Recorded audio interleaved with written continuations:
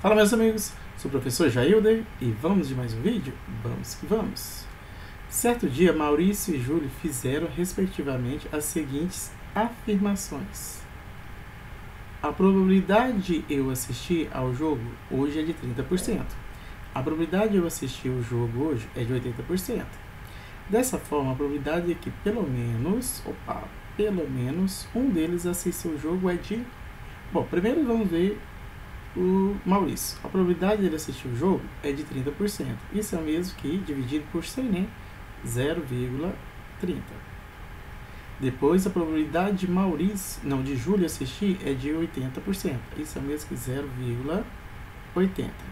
Vamos encontrar aqui a probabilidade de ambos assistir o jogo. Né? Fica mais fácil a probabilidade do evento A e do evento B. Como são diferentes, eu posso trabalhar isso aqui. Né? Pegar 0,30 vezes 0,8.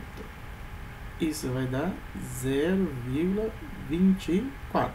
Essa é a probabilidade de ambos assistirem. Mas ele não quer saber de ambos, quer saber de um ou outro. Então, para isso, eu vou deixar os condicionais ali, então, e eu vou fazer minha direta aqui para ser rápida.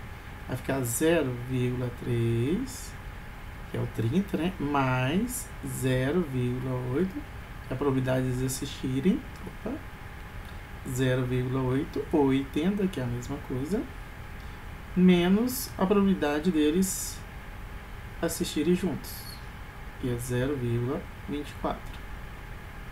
Certo? 8 com 3 dá 11, então isso aqui dá mesmo que 1,10 menos 0,24. Logo, 1,10 menos 0,24.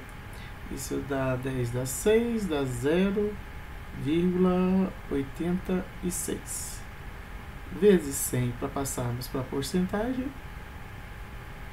Isso dá, por cima, 0,86%. Multiplicar por 100 é só andar duas casas para a direita. Então deu 86%.